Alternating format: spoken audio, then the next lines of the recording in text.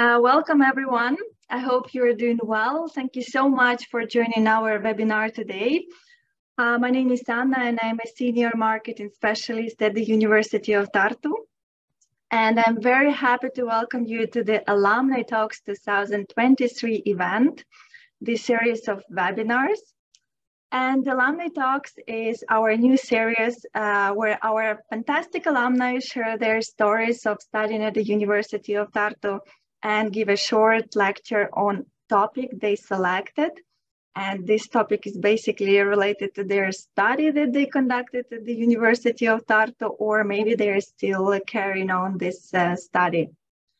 Uh, so today with me, I have Ville, uh, who is our alumnus uh, of the master's program in politics and governance in the digital age. And uh, he graduated in 2022. And uh, his work focuses on environmental politics and parties in Central and Eastern Europe. And the topic of his talk today, transitioning from master studies to research in environmental politics. Before giving the floor to Ville, I would like also to mention that you are very welcome to leave your questions during the webinar. Uh, please leave them under Q&A box. Uh, we are going to address these questions at the end of the webinar. If you have any difficulties, please let us also know. We will try to resolve these uh, issues as soon as we can. Uh, we also would like to let you know that we are uh, recording this uh, webinar, so uh, after this webinar, you're going to receive the recording. And uh, I guess that's it from the technical part. And uh, I will give a floor right now to Ville, who is going to share his screen and going to talk about his study. Uh, the floor is yours, Ville. Okay, thank you very much for the introduction. I am trying to share my screen and it looks like it's actually working as well. Yeah, it works. Okay, great. So yeah, yeah, in, it, it is true. I'm I'm uh, a graduate of the politics and governance in, in the digital age program. I graduated last year. Although when I actually applied and started studying in the program, the name was something different and it kind of changed in the middle of my studies. But I, I, I think me and the roughly 10 other people count as the like 10 people in the world who have now graduated from the new program. Um, I'm doing a PhD at, at the university now in the same institute. And in, in that sense, it might be that my experience in the program and especially after it isn't really uh, that typical or representative because as far as I know, I'm the only one out of the program who actually continued in academia. Uh, Others have went on their on um, uh, their separate ways, but I'll probably talk about that a little bit more later. So why did I even choose the politics and governance program in the first place? Usually people name the e-governance or the impacts of technology studies on politics when it comes to studying in UT or in Estonia in general, mostly because of the e-voting and honestly also the the institutes of political studies has quite a large proportion of experts and researchers who are focusing on e-governance issues specifically. But for me, uh, the choice really came between Czechia and Estonia. And that's because I did my bachelor's degree in Czechia, in Brno. And well, in, in the end, there, there, were some programs in Czechia, in both in Prague and in Brno, that accepted me for master studies, as well as then the program here in Tartu. And well, I, I, I gotta be very honest that um, at the time I didn't even know where Tartu was or that it really even existed as a city. But the, the crucial choice in the end was really a financial thing because the, the programs in, in Czechia tended to be more expensive just straight up compared to the Estonian one that offered tuition waivers and scholarships to a bunch of students actually in the programs. Uh, otherwise, as well, my BA was actually in international relations, but kind of toward the end of the studies, my interest started to veer towards political science. And then, then the, the programs in Czechia were IR programs, and the program here, Politics and Governance, is kind of a political science program. But I, I think I'm kind of in a minority in the sense that my interest here stems from just my personal interest in political science. That other people, classmates I had, for example, uh, got into the program because some wanted to get into politics, some wanted to get into kind of civil service, work for ministries to try to make their home countries function better, which is very admirable and some honestly just wanted to get a degree and a fairly comfortable office job. So for me, the MA at, at Tartu was covered strongly by COVID and the pandemic. Even though it, it's a fairly tightly run program, and the, the, first year especially is pretty hectic and in, in some regards even infamous for some difficult or demanding courses. And the second year then is a bit less hectic and a little bit less intensive with kind of a lot of space for Erasmus or internships and then the last semester for the thesis. But still, the summer of 2020, when I came to Estonia, was right in the between of the very first wave in Europe and the second wave. So the first semester actually started in person, although mostly, I, as, I, as far as I remember, we still had masks on in class. But it was kind of a, a lucky int- introduction, I suppose, to the program and the university in that sense. Because then by the second semester, the classes moved completely online. And then the third and fourth semester they they were kind of third semester i was out of the country on erasmus and the fourth semester focused on thesis. So there were very fairly few classes even to attend anymore at that point and this has actually come up in another context earlier but after starting the phd i realized that i had barely even been in the building of the Institute of Political Studies for about a year at that point. Um, a few words though on just generally living and housing, cost of living in Estonia too. If you're interested in studying in Estonia or moving into Estonia to study, I think my personal tip is to find a spot in dorms it's easily the cheapest and probably the easiest way to find a find a place to live in in the city. The picture on the screen is actually my dorm room that I lived in for about two years and just moved out of fairly recently, like a little over a month ago. Um, I also have included this like rough monthly budget on the slide as well that was kind of the rough guideline that I had, at least.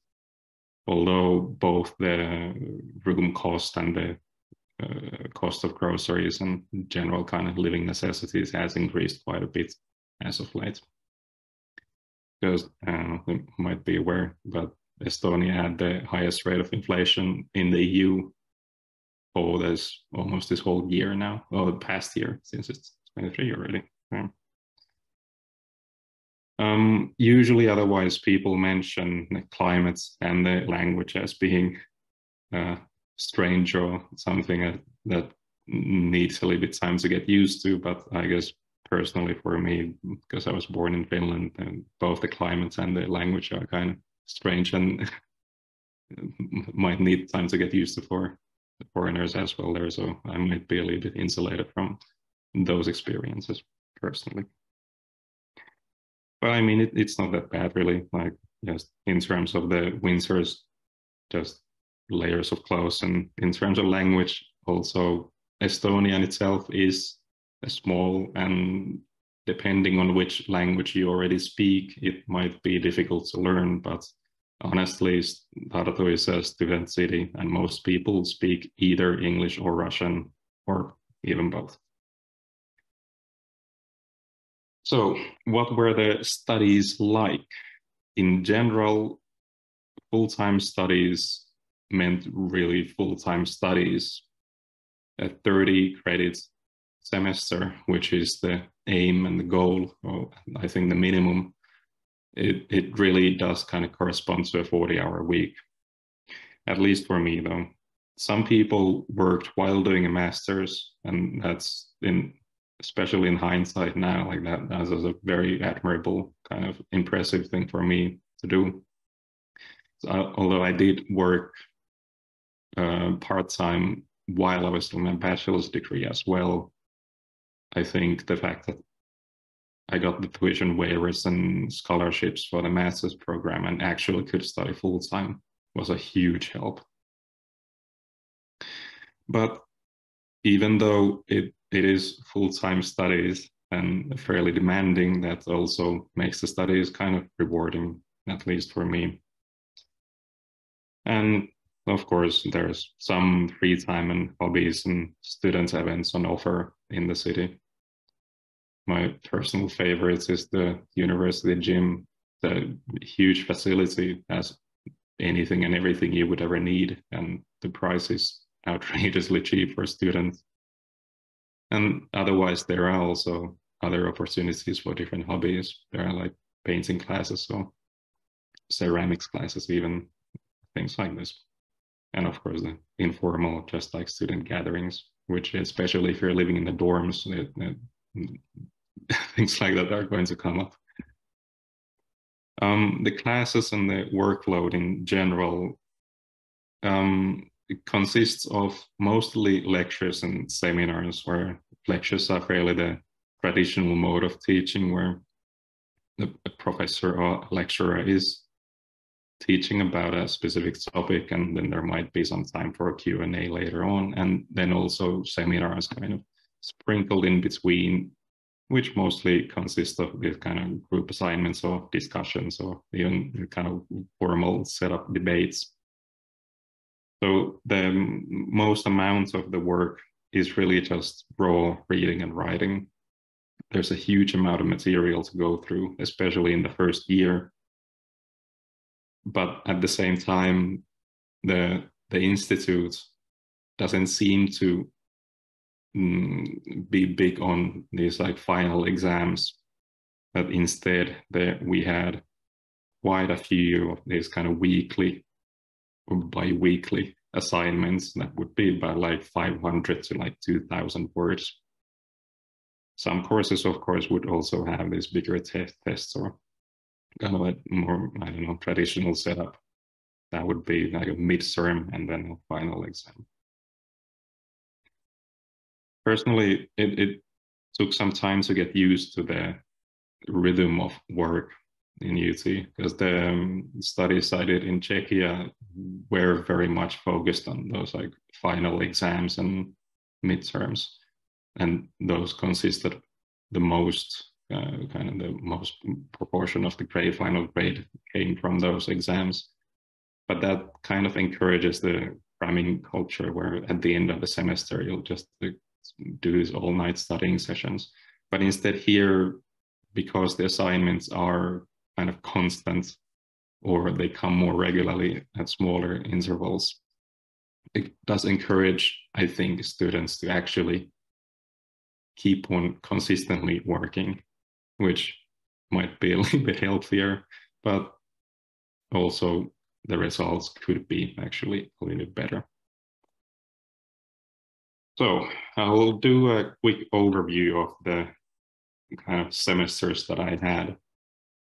So like I said, the first and second semesters are very intense. There's all the compulsory courses are uh, supposed to be done during the first and the second semesters during the first year there's a large amount of reading and there's, like I said, kind of a constant barrage of smaller assignments. You kind of learn a way of reading during, or a certain way of reading during this, when you're faced with like this amount of just material that you have to go through, where you, you get pretty good at kind of picking out the main points and the main arguments in larger texts, which I think actually is one of the stated goals for the for the like learning goals for the program. Some of the courses are fairly infamous, but they're also compulsory, and as compulsory courses, they should be completed during the first year, which well, it, it can generate some sense of like camaraderie among the students, but it can also be very scary for some people. My personal experience was especially with this um, governance course because it's a kind of it was kind of a new topic for me and it it well you might see it if you come and study here but it, it, it was an intense experience um, from the first year i especially actually remember sometimes when I'd be walking back from class to the dorms and I tried to enjoy that 10 minute walk as much as I could because that was technically free time. And that was like on some days, especially the deadlines were piling up, that was the only free time that I would actually get during a day. But then for the, the third semester, I went on Erasmus, and there's specifically space in the program for either for an internship or like a semester abroad. Some classmates got internships in government institutions or ministries or nonprofits or things like that. Personally, I went to Italy, which was a very nice change from the winter in Estonia and Tartu it kind of ended up working out well for my thesis as well, because the third semester is the time when the thesis topics are supposed to be locked in, and you're supposed to also find a supervisor. And my topic ended up being about kind of economic policies of green parties and the University of Bologna, where I uh, spent the semester focuses almost ex- exclusively on political economy for me, that was kind of a lucky coincidence. And maybe there was kind of a, the cause effects might also go in the direction that I got interested in political economy while being in Italy, and then I chose that topic. But in general, the program and some of the program managers, they they tend to um, encourage people to make purposeful choices in terms of the internship and the Erasmuses for example, if someone wants to study like right wing populism in Austria, then it would make sense and it would be easier to get a spot in in in, in a in a university in Austria. But yeah, it's it, it's a the third semester was a large significant change from the first year because there actually was time for travel as well. The picture there is from Venice, which was a uh, a nice change from those like appreciating those 10 minute walks from the university to the dorms to change to actually traveling in very cool places and countries. If you ever end up in Italy, I can recommend San Marino. That's a very, very cool place to go to. Um, the fourth semester then was pretty much only focused around the thesis. And then there's like there's nothing surprising about that really. There's a lot of reading there's some data analysis to do. You get some feedback and you edit the thing and then finally submit and defend and stress a lot. Also it's a fairly straightforward kind of semester but still there's work to work to do you know like the, the thesis isn't the master's thesis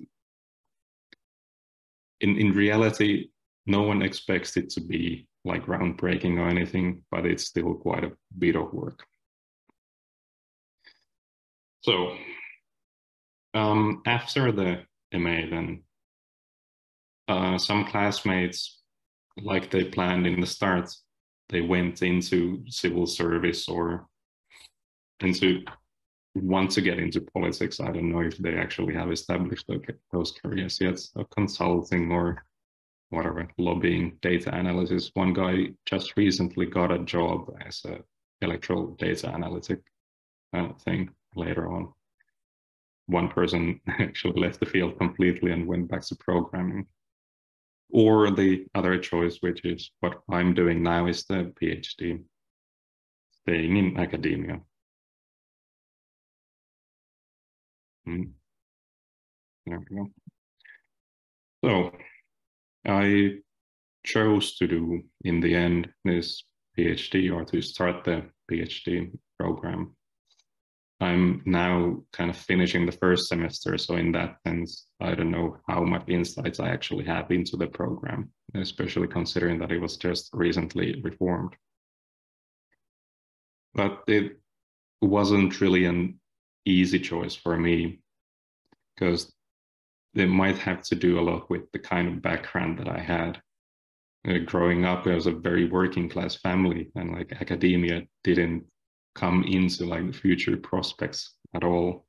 And actually, I th- think me and my older brother are the first generation in the family on either side, mom's or my dad's side, that actually got university degrees.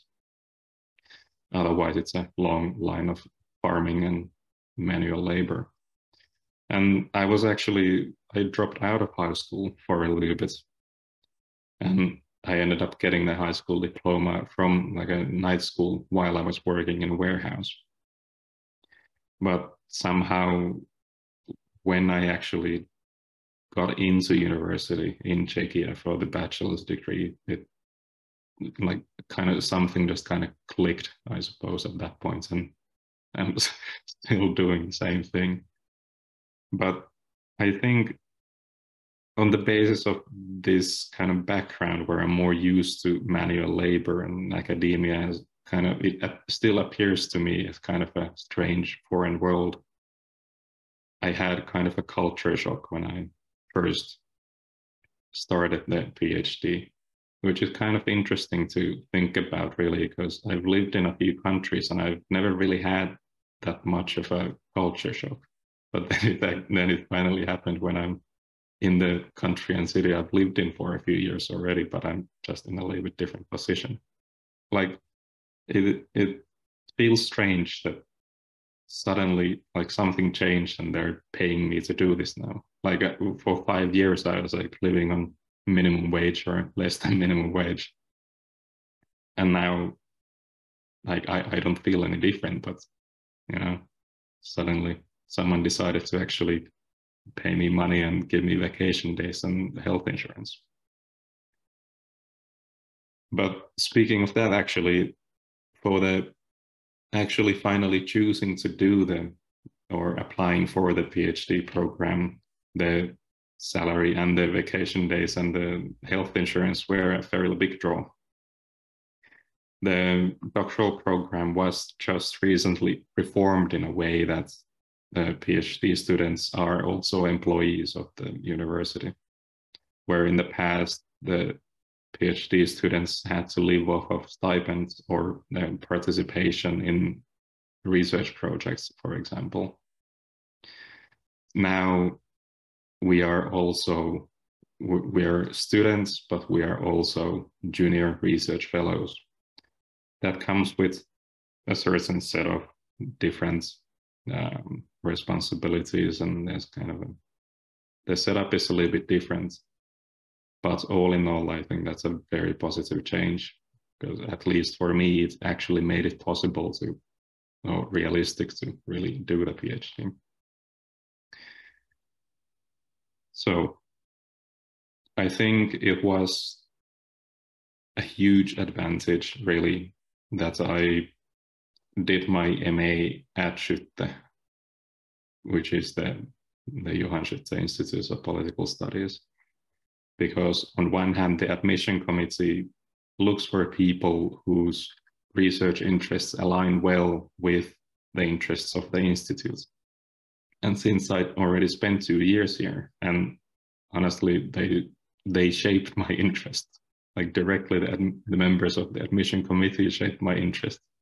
It, it was a pretty easy fit in that sense.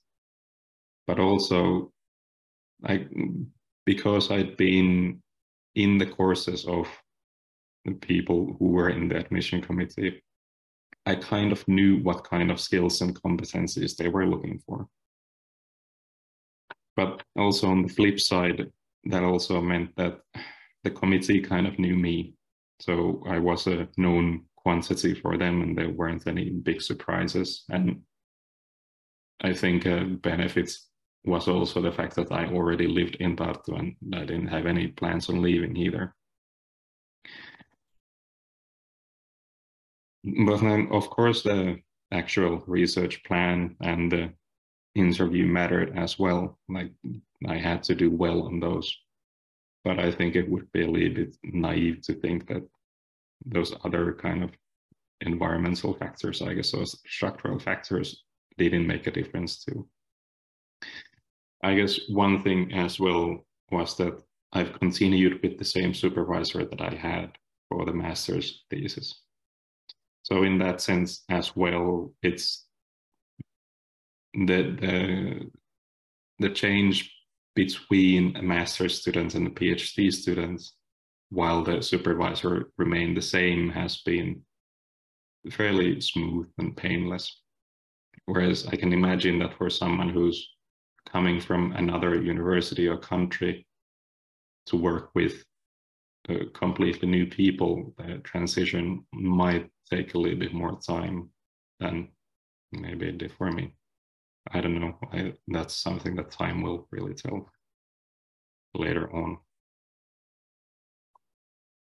Um, the dissertation topic that I had grew out of the coursework during the masters. I, there was a course on it's like electoral behavior or party politics, something like that.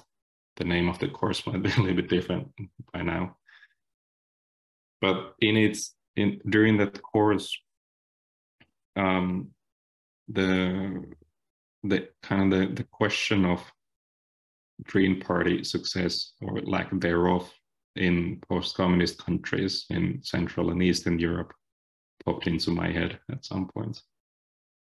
And that led me to do a few assignments for that class where i was trying to look into that question and there is some research done on that specific question. But the thing about it is that the existing research tends to take a view that, um, well, the, ex the explanations are individual level. They focus on the values of voters. So basically, the existing argument goes that where Green parties have a larger potential voter base in northern, northern and Western Europe. That same voter base doesn't exist to the same extent in post-communist countries. But my MA thesis then tried to look at this question from the point of view of parties, because it's it is kind of it's to be expected that parties have a role to play in their own success it would be a little bit simplistic to assume that they wouldn't. But it turns out that, and this is probably why there hasn't been a lot of research on this topic on the point of view of parties, is that there really is fairly little data available, which obviously understandably makes the research a little difficult to actually do. Otherwise, also, I think environmentalism, because of climate change, had been on my mind, like probably it had been for others. And I think that had its effect as well on why I actually got interested into green parties. Like it's not all like super theoretical and complicated, sophisticated stuff. A part of it is simply just that I feel very anxious about climate change in general in that way, I guess also the doing trying to do research on this topic is kind of, it, it has a personal level, so it has well in that sense. but like I said, um, my position now then as a graduate of the program, of the MA program, and a PhD student is both as a student, but also as a junior research fellow and employee in the in the institute. And as a student, nothing much has really changed. There are still some courses to complete. I, there's still a bunch of reading and writing that I need to do. And obviously, there's some thinking that comes along with the reading and writing. In terms of courses, for example, I'm I'm planning on taking a master's level course just this next semester. Um, but mostly everything still revolves around the dissertation and the, the doctoral thesis. But there is also some time for personal development. And this is kind of an, at least it was an interesting point to me when I was looking at the formal listed uh, learning goals of the doctoral program, that there is, there are some difficult to quantify, but there are some requirements for personal development as well. Mostly they relate to things like learning how to teach and supervise students. But they also have space for learning languages or just kind of like spending some time to uh, do some self reflection and trying to see what kind of things could be uh, improved in the context of the course, which that's kind of a rare thing really to me that a job as a profession even a, a part of your responsibility is to actually develop as a person. But yeah as, as a student it's reading writing some courses and we are all of the PhD students accountable to the senior staff still. So we submit our essays and try to defend our arguments and are kind of under the constant feedback of um, professors and lecturers, especially the specialty leaders and all the kind of senior staff of the institute and our supervisors. But then also as an employee we are treated as colleagues and not students, which sometimes feels strange, this kind of dual position. It's a very new thing for everyone, I think.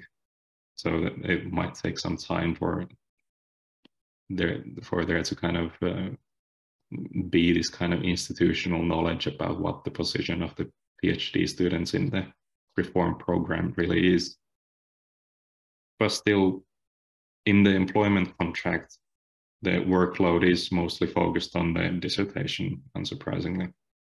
It's actually laid out in a way that 80% of my workload is supposed to be directly focused around the mm, PhD thesis, and up to 20% is other tasks.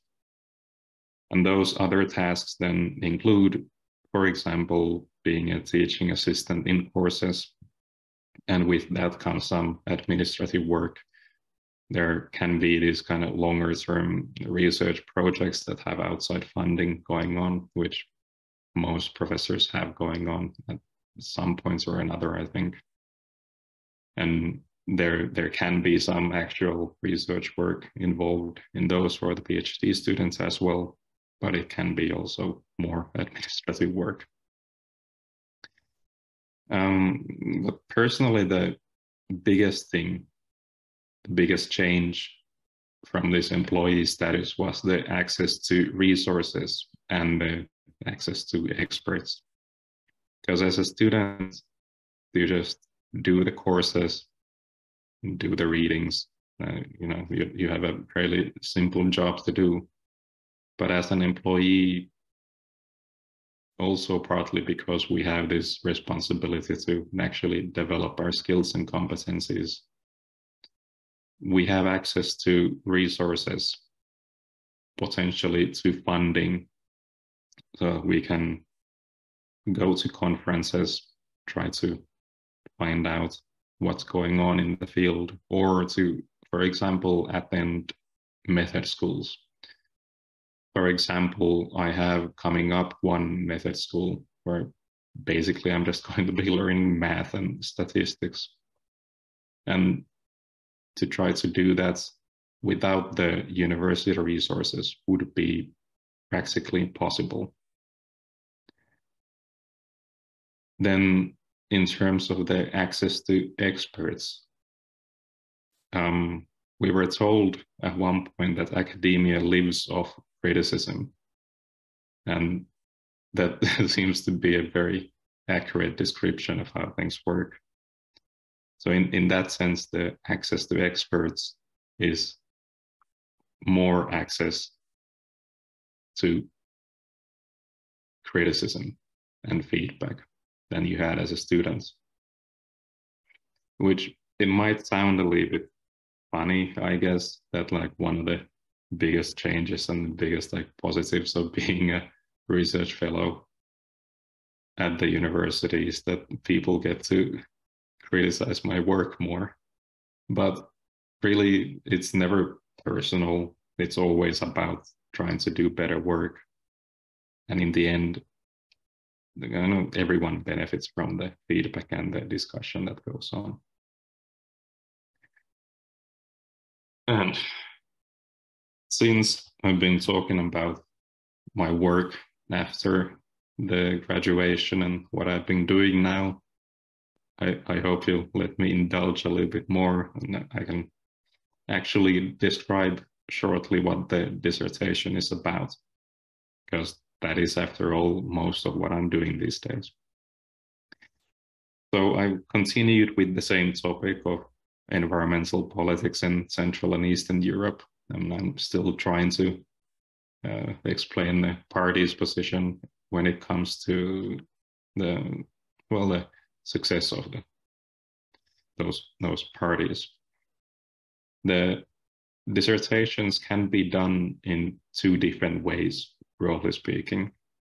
The first one is kind of the classic monograph style, where you just basically write a short book about a very specific topic, and then you try to defend it after ideally four years, sometimes a little bit longer. The other way of doing things is what I'm doing. And that's an article based dissertation. Basically, the idea is to, instead of writing a one mm, very long kind of story or argument, I'm going to try to publish three journal articles that will make up the whole of the dis dis dissertation. The first one is about figuring out a new measurement for environmental policies. Because like I mentioned earlier, there's kind of a problem with the data on green parties and their policies in that there's fairly little, little data on green parties in general and the existing measurements of environmental policies are fairly simplistic, to put it shortly. And they tend to only measure for the presence or non-presence of environmentalism among uh, within the party policies. So right now I'm trying to figure out different dimensions or different ways of trying to measure environmental policies. Maybe maybe as an example, it could be nice and like illustrative to mention, for example, the way economic policies can be measured. Like there can be left right dimensions, there can be how and what kind of interventions the state does the policies, uh, to economies, and so on. So that's what I'm working on right now. The future plan then for the rest of the articles then uh, is first or second to figure out what kind of policies impact the electoral success of green parties the most. So if it is true that parties play a significant role in their own success, then it would kind of stand to reason that different combinations of policies in different contexts would be either less or more successful. So I'd like to find out what kind of policies tend to be successful for green parties in general, and especially in the uh, post-communist region. The last article would be about the effects of socialist or communist socialization on Green Party choice. So basically the idea would be that to test whether there is a lasting effect on how people do or don't vote for green parties based on the fact that either they grew up to be adults under communism or they partially grew up into like some teenage years under communism or if they were completely born after the, uh, the fall of the Soviet Union and the communist bloc in Europe. Yeah, that basically covers the whole thing of what I wanted to talk about. Really shortly, it's kind of been a fairly long road to get here. It feels like there's been since 2017 quite a few once in a lifetime events, it seems like. But I'm very thankful that I came here to Tartu. It's a pretty cute town and the university has been very good to me. But at the same time, why I still keep on studying, I, I might honestly just be a masochist. I don't know why I keep on doing this. But no, it's it's not that bad. I'm having a good time, so I think it's all good. Thank you for listening. Thank you so much, Ville, for taking us during your study journey from your master's program to a PhD program and uh, your current position of a junior fellow uh, researcher. Uh, thank you so much for your talk. Uh, we really enjoyed it. Uh, and now I guess it's time to open our Q&A session. We have quite some questions that arrived to our uh, question and answer box. Uh, so the first question is, is the fourth semester is uh, uh, for the thesis work? Yeah, I think as far as the program plan goes, it is pretty much completely devoted to the thesis. But I think a, a few people had other courses going on in the meantime as well some people were more ambitious about it than others. I, I, had like a Russian course on the side, and that's all. But some other people would have like three, four courses. But I think that's that's very ambitious, to say the least. Thank you so much.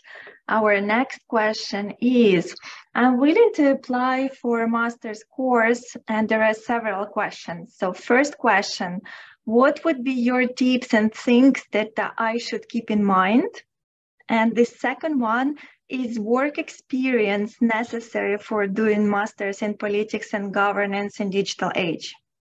Mm. Yeah, in, in terms of tips for the, I'm assuming for the application process, as far as I remember, the motivation letter mattered quite a lot.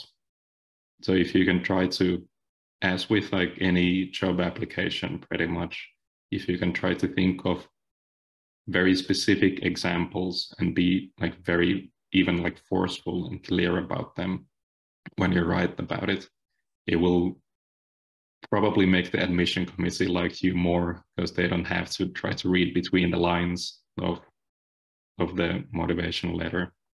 In in terms of the work experience no it's not necessary. It's definitely a positive. Um, a bunch of my classmates did have varying work experience, either in on in doing volunteering or in NGOs or even in some EU institutions. But for example, I didn't have really any work experience in the field. The part-time job I had while I was doing the bachelor's was just project management, for example. Thank you so much for your tips and for uh, sharing your personal experience. Uh, uh, the next question is actually uh, contains uh, four questions with four questions. So I will divide it into four. The first question, uh, will the graduate be able to design and administer an e-voting process? If yes, which part of the voting process he she will be ready to cover administrative versus coding blockchain? Oh, I can do it. Okay. Um, that's kind of a difficult question to answer, really. First of all, my expertise isn't in the governance field. I'm doing comparative politics. But in, in general, I think very varying topics of thesis are acceptable and would probably play well. Any like e-voting topic, it would be probably a fairly good choice because like this is the place to do it really. There's plenty of expertise to uh, support that kind of ambition or goals. But um, in, in general, the thesis should have some kind of uh, like added value um, academically speaking.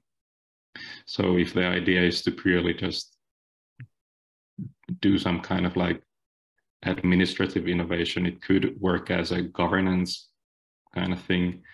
Or if there's coding that you want to do, then there probably should be something else alongside it as well. But like I said, I'm not an expert in e-governance, so don't take my word for it. So kind of you know. Thank you so much. Uh, the second questions are coding skills necessary for a prospective student? If yes, what a programming language the student must be prepared to master? No, no, coding skills aren't necessary at all. But in terms of a programming language, I think R is the most important one to use. And that's mostly that's what I've been doing and that's what mostly used for like kind of statistical analysis. Otherwise, if someone wants to get deeper into programming, then Python probably would be a pretty good choice. Uh, the third question, what book would you recommend this in social science methodology? Oh boy, okay, well, oh, well, the, the big classic is um, King, Keohane, and Verba's. It's uh, in 1994. I think it was called um, Designing social science inquiry or something along those lines. That's the big classic, really. And there are, as, as you might expect, there's an endless amount of literature on methodology. And really, it depends on whether we're talking about quantitative, qualitative, or interpretive, and then kind of what kind of methods really in the end. But I think kind of the, the big classic starting point is that KKV 1994 book, Social Science Inquiry. Mm-hmm. Thank you so much. And the last question, is it possible to work part-time in Estonia during the study? Yeah, yeah, sure. And I think, like I mentioned, I had classmates who studied part-time during the studies as well. A lot of people seem to do this uh, food delivery stuff. And then I had a few people who were teaching English alongside the studies. Um, not that I had a few people, like I know a few people who did this they seem to be the most popular choices. Mm-hmm. If I may add, add then uh, it's allowed to work also full time. There is no restriction about working hours, but of course, the studies should come first because the studies are the most important uh, when you're gaining your master's degree. All right, I guess we are going to take our last question. Unfortunately, we don't have time to answer all of them, uh, but uh, there is a question about the interview if is there an interview for master's program? And if yes can you give some insights of the interview? Yeah that's actually kind of a fun question because it seems to depend on the program a little bit. The program that i applied for the the politics and governance one i don't think they actually did interviews at least consistently. They might have had some specific questions for specific applicants that they then called in for an interview. But for example, from what I remember at least, most people in the international relations program were actually pulled in for an interview. Mm-hmm. I just also had a quick look. So there is an interview for this upcoming intake. Uh, so it is compulsory motivation letter and an interview. Uh, so I guess uh, if you would like to know more about that, that we will have a private consultation with program managers, so you would be able to ask more about that. Okay, I guess uh, we can take one last question because we still have a few more minutes. Uh, so uh, uh, let's take this question. Could you name a course which was the most beneficial for you and that you would definitely recommend for future students at this program? Mm, I probably would have to go with the electoral behavior course that I mentioned earlier. That kind of ended up generating the PhD dissertation idea that I, I'm now working on. But otherwise, that was also a pretty fun course to take. As far as I remember, though, right now in the uh, reformed or reformed kind of new version of the program, it's actually a compulsory course. if you're in the program, you're going to take it anyway. Oh, if out of optional ones. Oh no, I think that's actually also a mandatory one now. There's a course on political culture. That was a lot of fun. But that might be compulsory now as well. Well, useless answer. I tried. There is also a very related question to that. Would you advise a thesis topic related to the energy transition or political economy or the energy? Absolutely, totally. I mean, that would be a great topic. The the I wonder though if in the Skytte Institute there is a lot of actual expertise on energy security at least no one comes to mind off the top of my head. Tallinn might be a better option, honestly, for that, as much as I'm trying to promote UT here. Yeah, thank you so much. I guess, unfortunately, we have to wrap up our webinar. We don't have a lot of time. Uh, thank you so much, everyone, for joining us today, for asking your questions. And uh, very big thanks to you, Ville, for your presentation, for sharing your personal experience and telling your life story from a master's degree to current PhD position that you have at the University of Tartu. Uh, before we end this webinar, I would like also to invite you to apply. So if you're interested in master's program in politics and uh, governance in digital age, the application process is open now and you can apply uh, before March 15th. Uh, and also, uh, we are going to follow up with the recording of this webinar and there are going to be also virtual meetings with program directors where you can also ask uh, some specific questions about the program. So we are going to send you all this information as well over the email. Uh, thank you so much for being today with us. Thank you so much, Ville, and I really hope to see you soon.